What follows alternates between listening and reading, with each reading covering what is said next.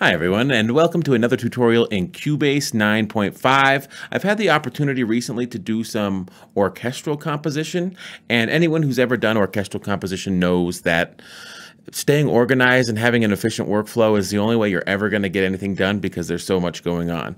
So I've been using a little trick to help me with arrangement and to helping me with uh, moving parts around uh, using the folder tracks in Cubase, and that's what I'm going to show you today. So let's hit it.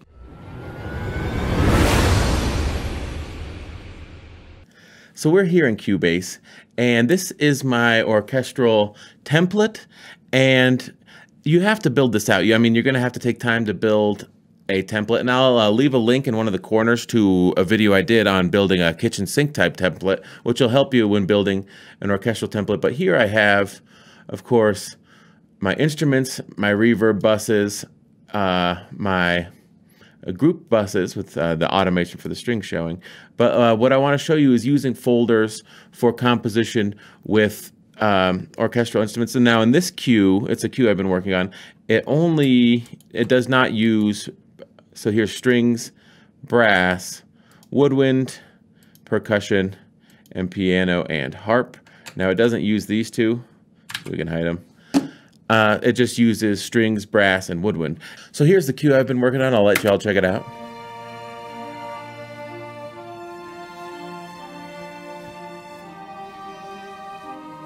I don't know how to conduct. So it's got that part, and then, um, you know, here at three,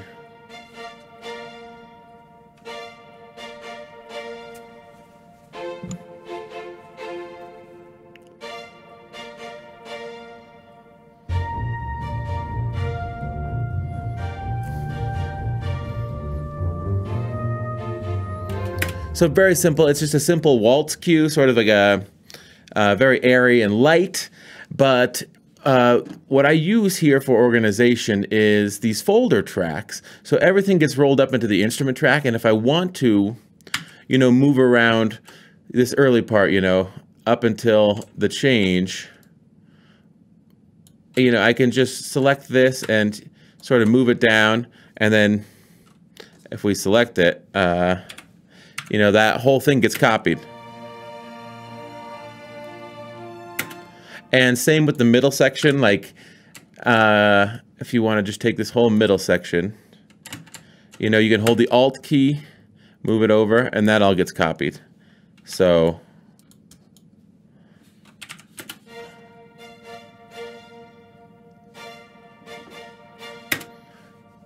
and that's nice, but an arranger track can sort of do that. An arranger track can take the totality of everything you've done and put it in piecemeal. Why I like this folder track setup is because uh, you can do that with individual parts. So for the strings, if I want to copy strings, but I want a different brass line or a different woodwind line, you know, I can come in here and individually select out parts and just copy the strings to the end of the cue and then not copy the brass or the woodwinds, and I can do specific parts. Because especially on strings, I do not use key switches. As you can see with my woodwinds here, I do use key switches, and in my brass, I'll use key switches, which is nice, but the strings are so complicated and they always sort of take a lead when you're doing orchestral composition that the strings, I end up just loading up one articulation per track and then doing it that way, just because it's easier for me to keep the strings straight and to have all that stuff loaded. With key switches, sometimes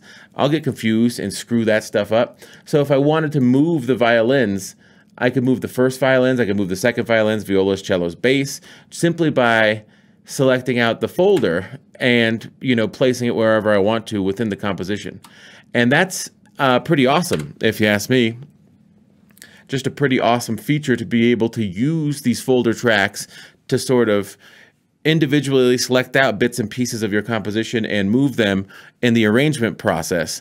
And that's a method I use. Now, I am 100% certain that there is more than one way to do this. And if you are a composer out there and you're doing orchestral stuff, or even if you're not doing orchestral stuff, I would like to know in the comments what your particular methodology is for arranging your compositions because I know that I'm using folders because that sort of makes sense to me and I build my templates off of folders, but that's that doesn't mean that it's necessarily the right thing for you. And you may know a way of keeping all this information straight, organizing it, and arranging it that I don't. And so let me know in the comments uh, if there is a different way or what you use or if you use something similar to this. And I'd love to hear it and I'll read everything. And that's about it, everyone. I hope you guys enjoyed this tutorial. If you found it useful, please feel free to like or subscribe and take care of yourselves. Peace.